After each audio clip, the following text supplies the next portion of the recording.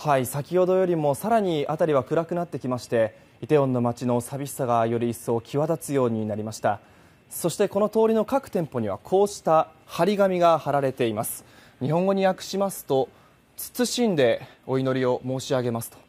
11月5日まで休業しますということが書かれているんですね。非常に暗くそして寂しい通りなんですけれども進んでいきますと事故現場と同じような傾斜の下り坂があるんですね。位置としましては事故現場からは路地を1本挟んだ場所。幅は少しこう狭まるんですけれども実際にこう歩いていきますと見た目よりも角度、傾斜がついていまして今、私のこの歩き方を見てもらっても分かるようにかかとから着地そして膝がピンと伸びる状態で歩いていかなければいけないんです。ですから後ろから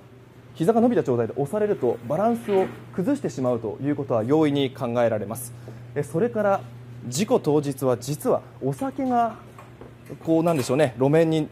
流れていまして濡れていたということもありました、まあ、ですからその辺りでも滑りやすかったということがうかがえます。こうした地理的要因も考えられるんですけれども事故原因の究明に向けて、えー、事故原因の究明が急がれます。